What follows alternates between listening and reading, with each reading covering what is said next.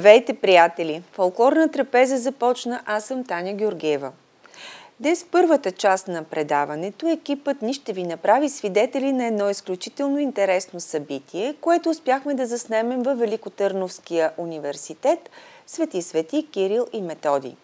По инициатива на Клуба на студентите и докторантите, старопрестолни етнолози и Центъра за етнология и културна антропология към Великотърновския университет и по повод празника на студентите бяха проведени кулинарна изложба и семинар на тема «Вкусът на социализма».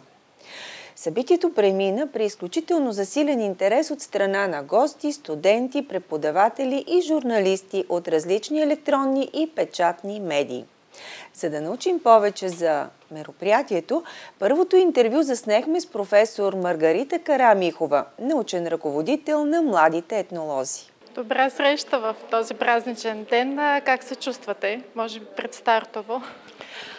Аз съм много спокойна, защото нашите студенти и докторанти са много подготвени. А това е изцяло тяхна идея, която осъществиха с минимална помощ от наша страна на преподавателите. Затова ми е само празнично и само весело. Събитията са две. Първото, което много-много топли душите ни е една стипендия, която учредих тази година и която получиха две от нашите отлични студентки в магистърска програма. Така че при откриването ние ще връчим първо сертификатите на носителките на стипендията. Също свързано с 8 декември с студентския празник е това второ наше публично представяне на аспекти на социалистическия начин на живот. Нашите студенти са родени далеч след края на социализма и 26-та година по-късно вече сме толкова далеч, че можем да си позволим да изследваме и да изследваме както спомените на хората за социализма, така и различни елементи от техния живот. А, в началото поставихме с един малък семинар, който нарекохме и за мириса на социализъм. А, този семинар беше много ползотворен. Колегите, които се включиха, направиха проучване на козметиката, на парфюмите, на а, модата в парфюмерията, на производство на парфюмерия и една тогавашна магистърка направи много интересна находка а, спомени на млади рускини от руски сайтове за социалистическите парфюми от България, които майките им са имали. Сега тази магистърка вече е наша докторантка, от историчка се пренасочи към етнология и сме много горди, че спечелихме умен млад човек в нашите кръгове. А, миналата година, изцяло с усилията на студентски клуб Старопрестолни етнолози към исторически факултет на ВТУ, а, беше организирана едновременно изложба на Димитров град, а, града на синеблузите и града на социализма, фотоизложба с съдействие на колегите от музея. И от музея в Димитровград, от музея във Варна и с наши усилия беше събрана огромна колекция от дрехи от времето на социализма която включваше от една страна униформите, униформите на чавдарчета, пионерчета, две дечица на моя докторантка участваха в тези роли, дрежки от детската градина, а, така и униформите на бригадирите си, не блузите. Нашите колеги от Димитров град донесоха първата бригадирска униформа, а, което беше наистина много вълнуващо да можем да видим, да пипнем. Разбира се, имаше и булчински рокли, имаше и празнични, и всекидневни. И това ревю мина при изключителен успех. Затова и когато планирахме заедно какво ще прави Центъра по етнология и културна антропология, на който аз съм председател, и студентски клуб Старопрестолни етнолози, който изцяло се ръководи от докторанти и студенти, те решиха, че тази година ще бъде вкуса на социализма. А поводът дойде от една прекрасна книга Соцгурме, която е написана с много вещина и с много сериозно така, вглеждане във всички аспекти на храната и храненето при социализма. И студентите наистина много от присърца взеха нещата. Добрата новина е, че студентския клуб към университета подкрепи финансово, затова и тази маса, която се вижда е с пари, които осигури студентския клуб, за да може да подпомогне по-доброто вкусване на социализма. Какво точно представяте на тези маси? А, на тези маси студентите разпитаха своите баби, своите майки и се постараха да направят най-представителните храни или най-любимите храни, както и по време на а, представянето вътре в залата ще а, видите, а, които са били характерни за онова време или възможни за онова време. Радостната новина, че и най-новите ни студенти, само на месец и половина студенти от първи курс по етнология, се включиха с нещо, което много приятно ми е изненада, с русенското варено търсейки неговото място в социалистическия бит, причините да стане толкова масов продукт, начините по който техните майки и баби са го готвили, защото то се оказва, че може да бъде елементи от храната, която вкъщи се приготвя, но бързичък елемент. Така че всички се запалиха, всички действат. Много приятно е това, че не само студентите по етнология и студентите по културен туризъм и миналата година и тази година много интензивно участват, така че разширяваме своето пространство. Бихте ли могли да изброите най-характерните храни? Ми разбира се, най-масовата храна, кебабчетата като представителна храна, присъстват тук, макар че много по-късно. Нещо, което беше любимо на всички по време на рождените дни, онези филии намазани с руска салата и с лютеница. А, руло Стефани като представителна храна, разбира се, сладкишите, бисквитената торта с малеби, малебито като такова, а, Виждате зад мен и ашуре, и кексове, и торти. Всичко това, а разбира се, прасковите, тези много представителни десерти. Всичко това, което майките и бабите разказаха, че е било важно и вкусно, а студентите се постараха да представят тук. А кой наготви? Ами, студентите. Всеки от тях. Всеки си избра по нещо, което ще прави и съответно го направи, включая има и един гювеч, истински гювеч, сготвен специално за днешния ден, по рецепта от баба.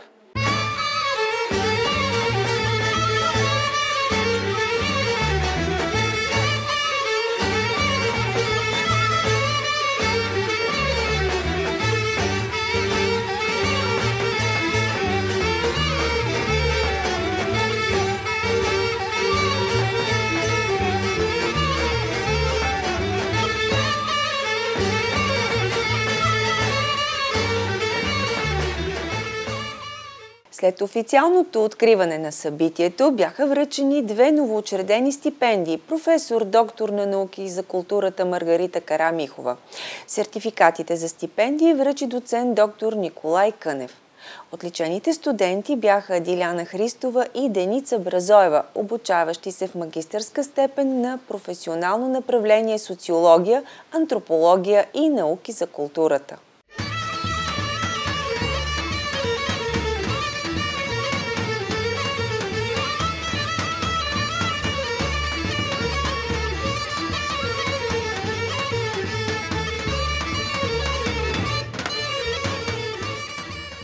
Непринудена атмосфера и с тема Вкусът на социализма беше показана интересна презентация с фотоси на любими храни от преди 1989 година. Многобройната аудитория имаше възможност да види как по времето на социализма са се правили детските рождени дни и какви са били любимите лакомства на мълчуганите – бомбони, шоколади, торти, незабравимите сандвичи с пастет и руска салата – Мили спомени у по-големите събудиха кадрите с книгите и домашните втери с рецепти, снимките с магазините от веригата Наркоп, така наречените народни ресторанти и онези класически опашки за цитруси, както и труднодостъпните корекоми.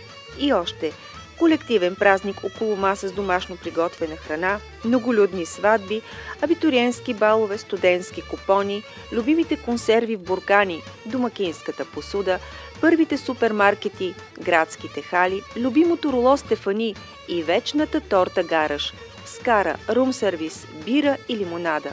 Умиление предизвикаха и снимките с рекламните лица от миналото. След тази ретроспективна презентация, студентите имаха възможност да чуят и любопитни разкази от първо лице за времето преди промените от свои преподаватели, както и от гости, специално поканени за събитието.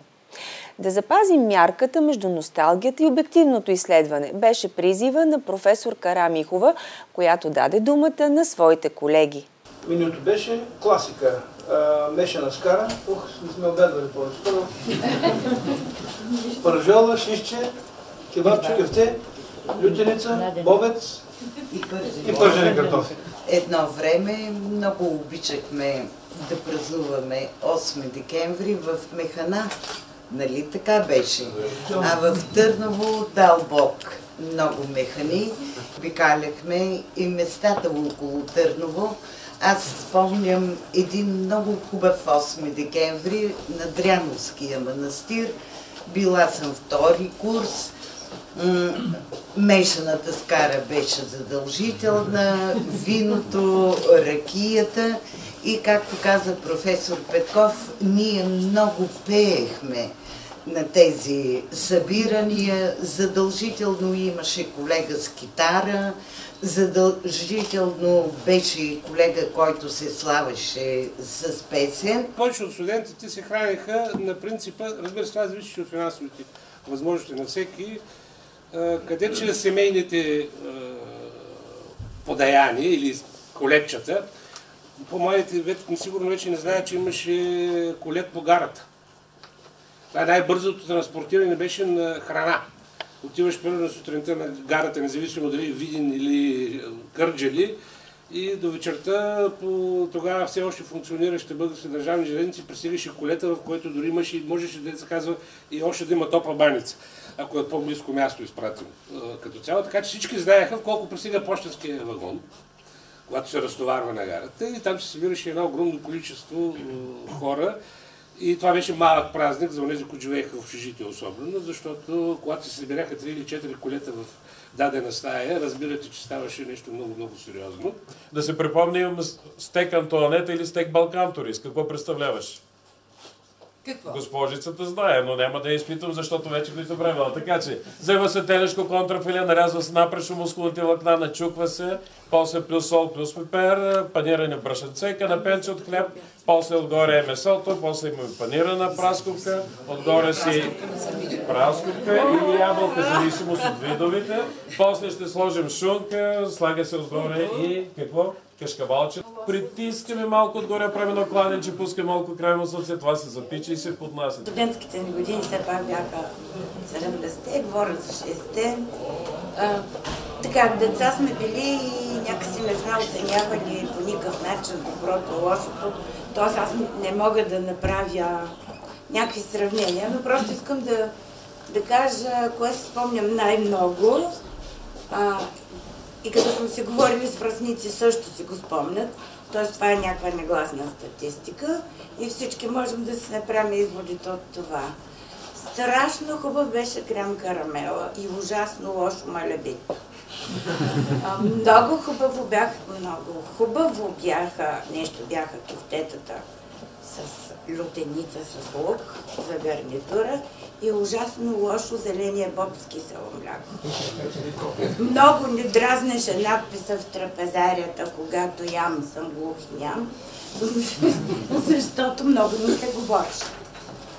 И някак си се научихме, разбира се и вкъщи, но и на тези лагери, от постоянните подканвания, като сядаме, да си измиваме ръцете.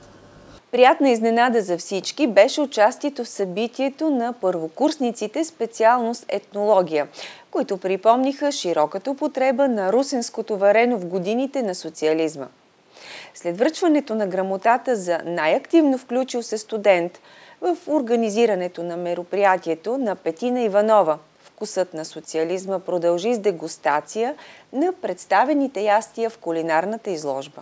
Включвате се активно в днешното издание Вкусът на социализма. С какво ви привлече тази идея? Какво, с какво се включихте? Какво показахте?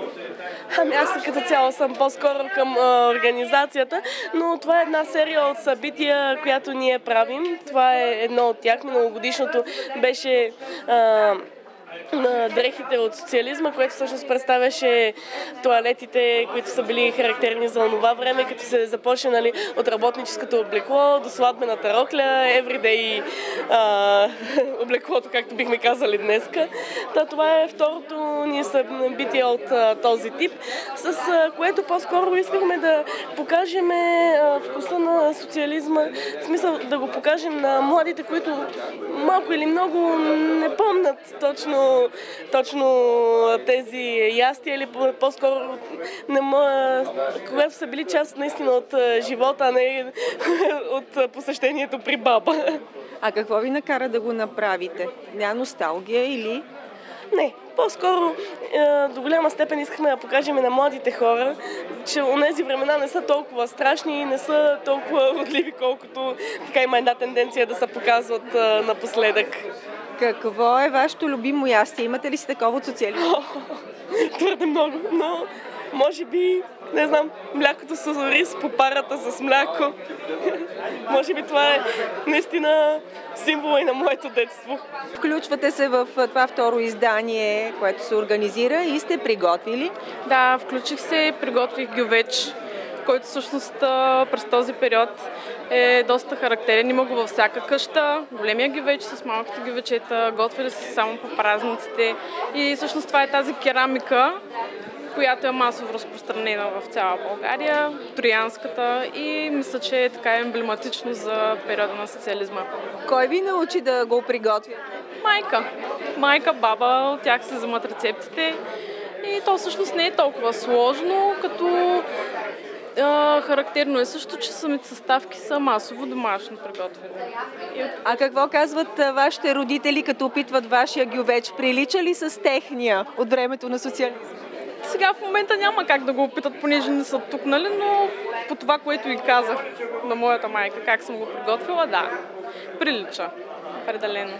Кои други ястия от времето на социализма така ви харесват? Опитвал сте и ги приготвяте с желание, ги поднасяте вкъщи? Ами аз много, много не приготвям, но като цяло мога да кажа примерно за десертите, млякото с оризничестето, които са се правили още тогава. И аз ги помня, нали, макар че съм родена след това.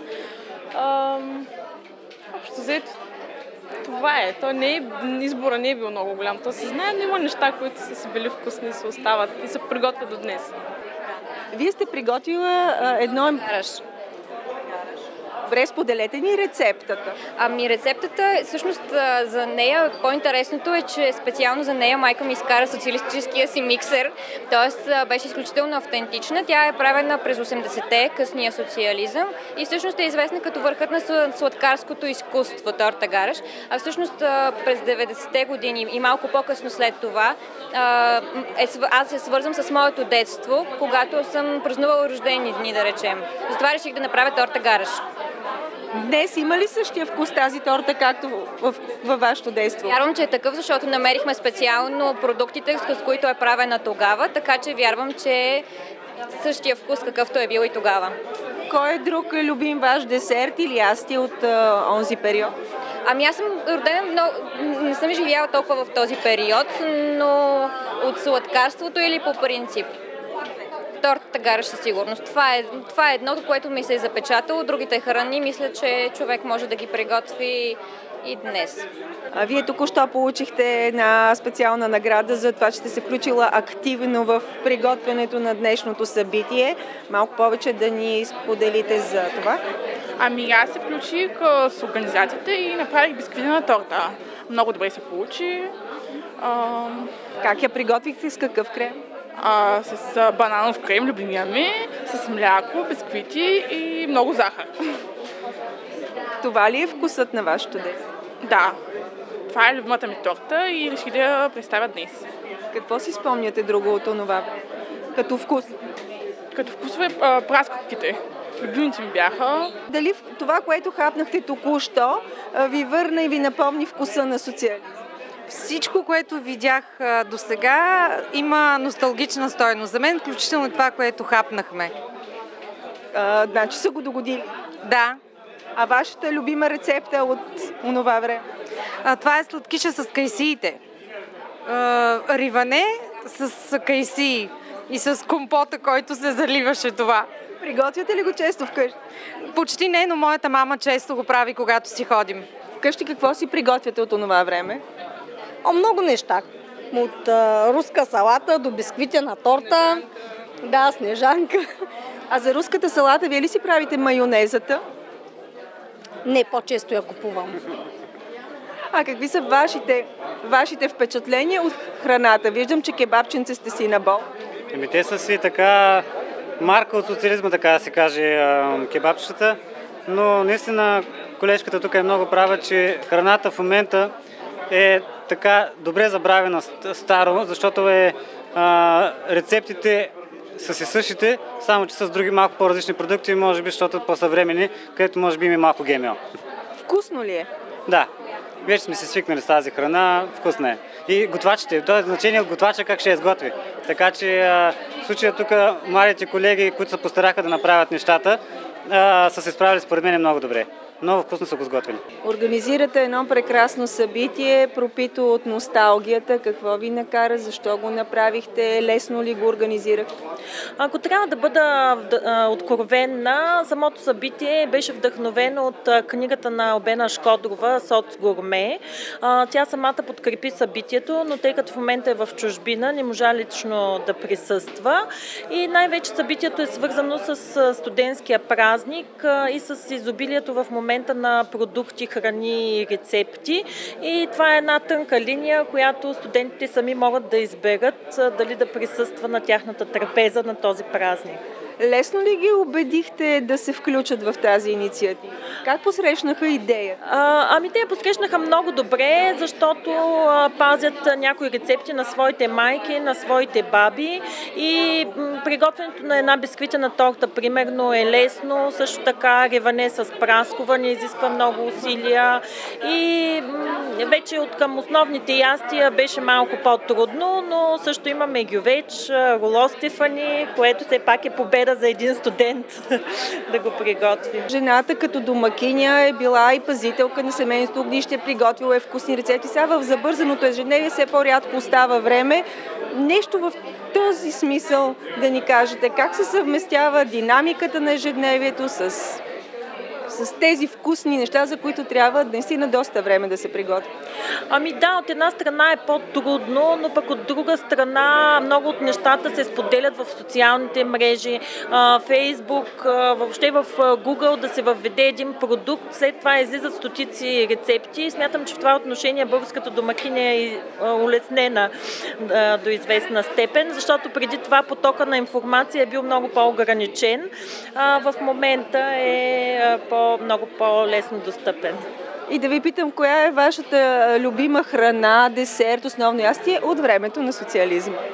Ами бисквитената торта, защото тя е любима и на децата и моите деца я харесват в момента, така че си остава номер едно в моята класация. Благодаря ви. Опитахме се, скъпи приятели, да ви потопим в атмосферата на вкусът на социализма. Дано да сме успели и дано да ви е било интересно. Както видяхте от менюто, много от любимите ясти и сладкиши продължаваме да си приготвяме и днес в домовете. Голяма част от храните на социализма не са непознати на днешното поколение младежи, а както чухте, много от тях ги и харесват. Пожелаваме на организаторите успех и в следващите им начинания. Сега, скъпи телевизионни приятели, фолклорна трапеза преминава към втората половина на днешната ни среща. Очаквайте ни там!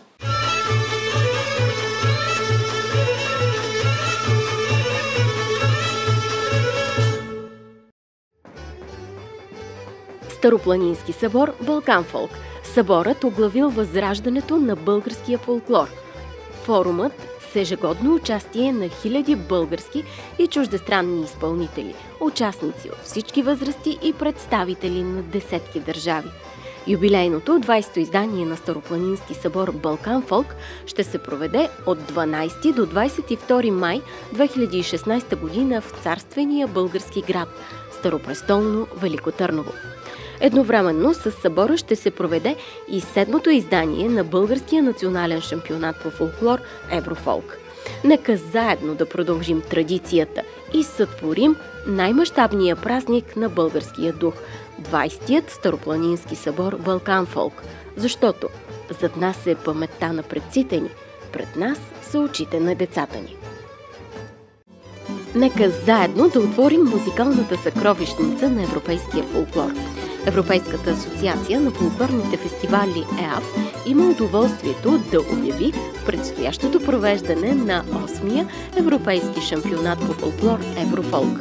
Международният музикален форум ще се проведе от 30 юни до 10 юли 2016 година в един от най-известните курортни центрове в Европа и най-големия град в Черноморския регион – град Варна. Дните на шампионата в морската столица на България, хиляди майстори на музиката, песента и танца ще представят културното многообразие на Стария континент и ще завладеят публиката и телевизионните си зрители с класни изпълнения на образци от европейското народно творчество. Изпълненията в благородната надпревара по фолклор ще бъдат оценявани по системата на Световната асоциация на фолклорните фестивали. Заповядайте в пъстрия и хармоничен свят на европейския фолклор.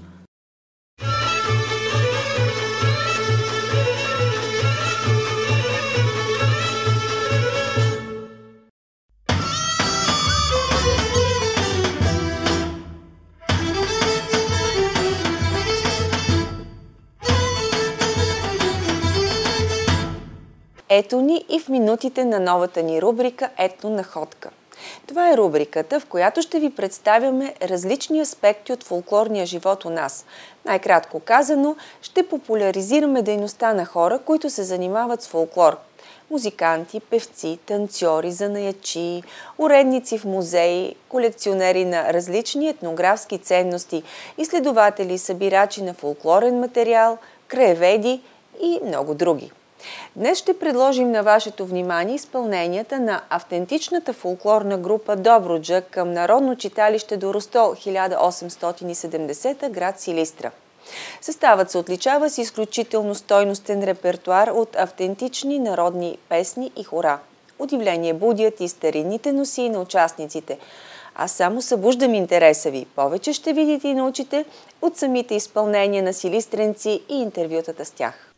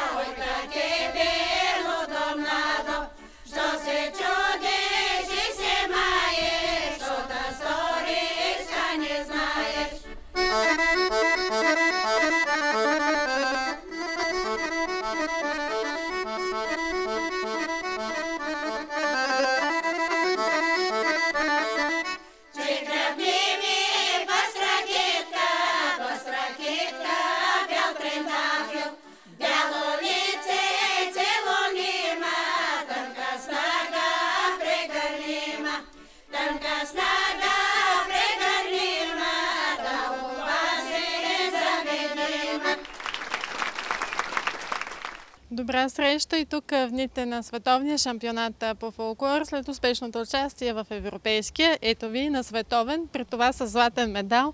Радвате ли му се? Много се радваме. Е, толкова години идваме, то с път ни е осмие. Винаги сме награждавани и даже и Орфея сме получили.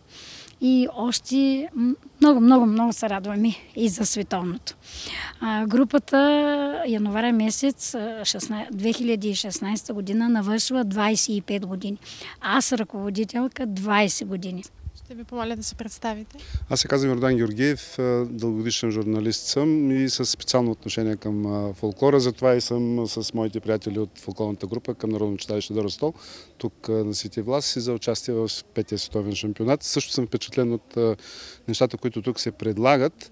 А пък мисля, че нашата група предложи и това, което се случва в нашия край през последните три века. Тоест се събира а, фолклора от цялата страна, предвид историческите обстоятелства, за да намери своята изява чрез тази и всички останали групи, защото, както се видя, от носиите има и северно-доброжански, и южно-доброжански, а има и много други елементи от Странджа, от Балкана, което е прави чест на нашите изпълнители, че успяват по такъв начин да покажат красотата на българската и шевица, и на престилката, а и чрез песните, разбира се. Какви песни изпълнявате и как успявате да си набавите за репертуара? Изпълняваме песни а, типично доброжански, а, типично автентични. Ние ги подобряваме с новите и ни пееми, а, които се пеят по радио, по други такава. Типично доброжанско и игрите също. Откъде взехте тези песни, които днес чухме? А, те песните, които ги вземахме, са от нашите пребаби. Даже и от Алфатар има, има и от Гарван, нашия хореограф и, ръководител, който и той ни ги даде, той, и той пей на също. Мъчим се и гледаме всичко автентично да бъде.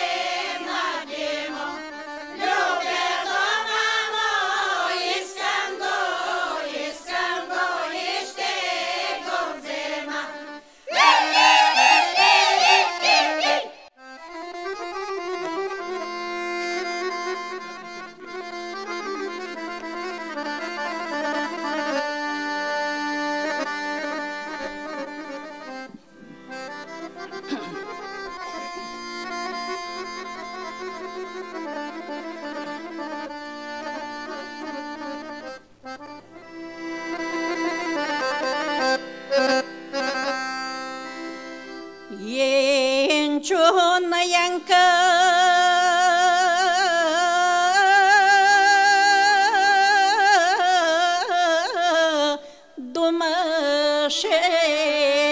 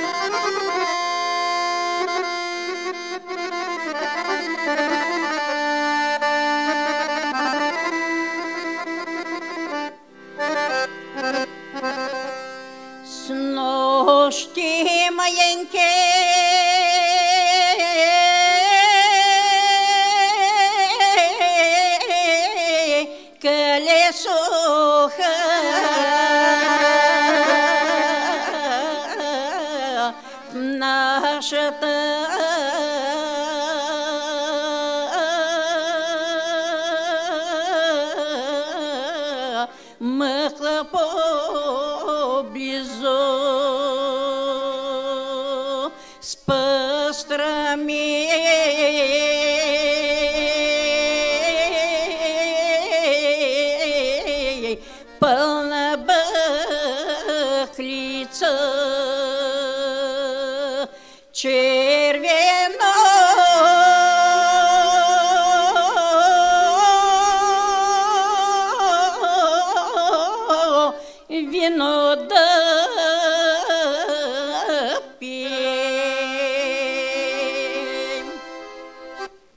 Какви хора изпълнихте? Ами, хора изпълнихме също типични доброжански. И едно изпълнихме румънско. А, хоро, което моите а, приятели нашите участници, майките им са били под румънско. И затова бяха и с румънски костюми, и а, доброжански, и изпълниха доброжански, типични доброжански хора. Ето това е най-ценно. Да, носиите ни са а, алфатарската престилка, която е най-ценна. Тя е на 200 годините, с която е над мене. Също фустите са такани, наши, всичко типично доброжанско.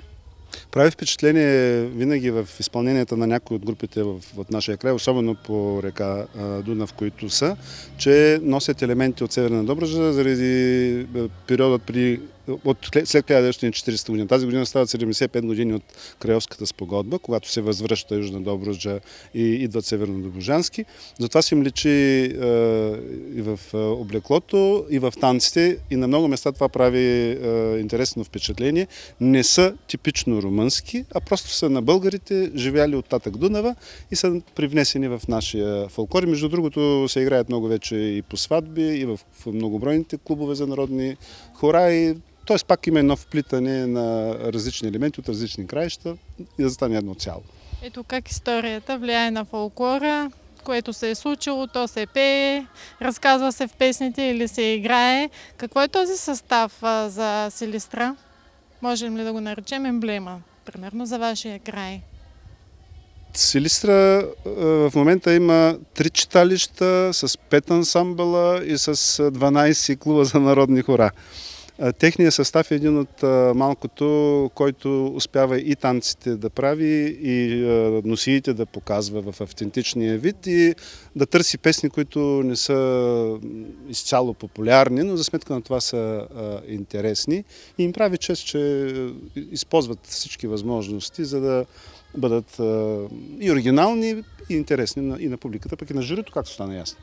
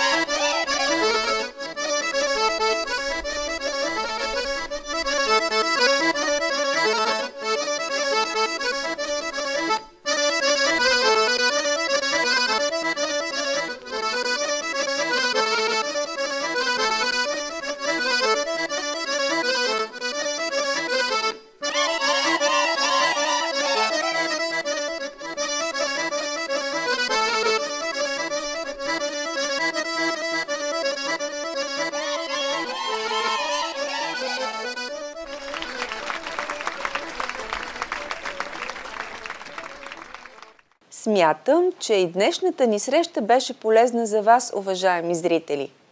Дадохме ви възможност да се докоснете и до кухнята на социализма, развеселихме ви и с дозина фолклорни изпълнения на състава за автентичен фолклор от Силистра.